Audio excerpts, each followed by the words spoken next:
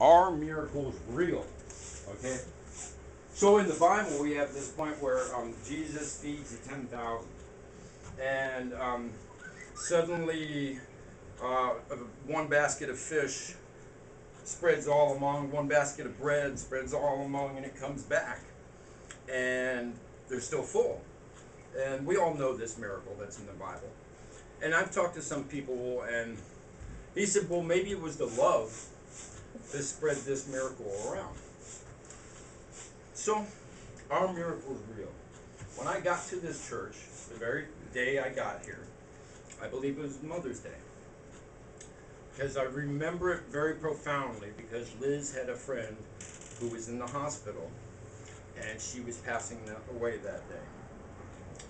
There was something I used to carry in my pocket, and it was this little rock right here. And on the day that I got the Lassie Romeo, my niece's dog, who had been with all of us, street children, as we grew, I got one rock, she got one rock, and one rock went to her boyfriend.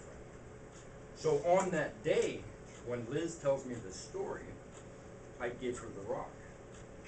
And she takes the rock and gives it to her friend. Now, if we recall, the baby passed, but and the mother they were expecting 85% chance in the first day that she wasn't going to make it, and then she made it. so a few weeks later, I put on my pants, and I reach out in my pocket. Rock's in my pocket, and I'm like, I'm having a moment among myself. I'm like, ah, whoa, how'd that happen? So, this is where it comes to this family of this church. Because I gave that rock back to Liz. And I said, things are going to happen for your family. Trust in this. Trust in this possibility. Within three weeks, her entire family was moved off the street. Everybody knows about the marble that I carry in my medicine that's got a smiling, happy face that I found right out here.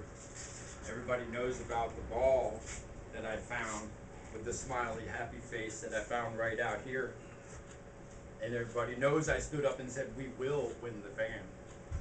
So the question is is it an expression of human love out there so powerful, or are miracles real?